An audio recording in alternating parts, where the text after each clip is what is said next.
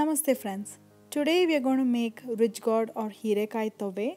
This is a temple recipe and it's as ancient as it gets. But before we get started, I want you to subscribe my channel and press bell icon because every week we are going to come up with a new recipe.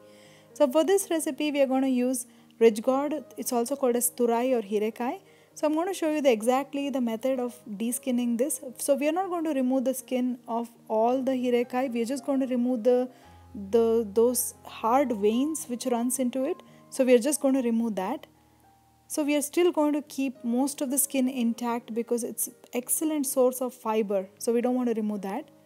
And once we cut it in half we have, we have we have seeds in middle. So we need to make sure that that is excluded. It's all right if you are not uh, completely excluding the seeds we just want to we just want to take out most of the seeds. Some of the seeds are okay we can still eat it. And this is the length what I need for this recipe. And we're going to chop up tomatoes. It's all right if it's not fine because everything is going to go in the cooker. So this is a one pot recipe. You don't have to you don't have to change a lot of pots in this. So we're going to just take one cooker. You can also take any wok if you want or a pan and I'm going to wash up mung dal really well. So I'm going to show you the method of washing it. So make sure that you you really rub it and wash it so that mung dal cooks smoothly in this recipe because tove is supposed to be very smooth. And adding one glass of water for this. And now I'm adding the chopped up tomatoes.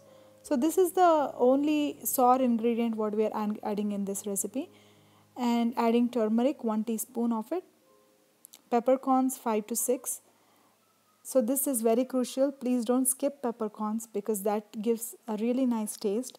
Adding some oil around 1 teaspoon of it. And we're going to keep it in the cooker for 3 whistles if you're doing it in a pan or a regular wok it may take 25 minutes until it's done. Now I'm adding 1 glass of water and I'm still simmering it in a low flame for this I'm adding salt, 2 teaspoon. I'm using crystal salt for this because it gives really nice flavor for this recipe. And here's the secret, half teaspoon jaggery. Shh, don't tell anybody. This doesn't do anything for this tove. It won't give it won't, you don't you don't feel it's sweet.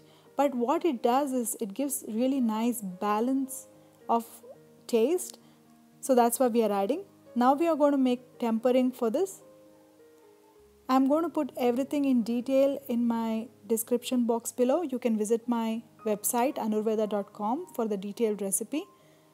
And I'm using round small chilies for this and I'm making sure that I'm going to take up the tip of it because what it does is it lets the oil and ghee soak up very nicely and you will feel it very nice when you're eating with with uh, rice so you can squeeze up some of those chili oil in, in, in your dish and you can eat. It tastes very good.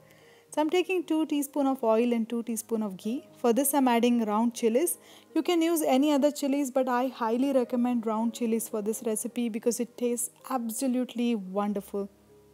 I'm adding cumin seeds, mustard and little bit of hing or asafoetida and curry leaves. So our tempering is ready now.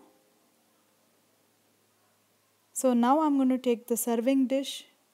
I'm going to add my hirekai tove. I'm going to put the tempering on top and serve it with rice. It tastes absolutely heavenly. I hope you liked it. Enjoy. Bye.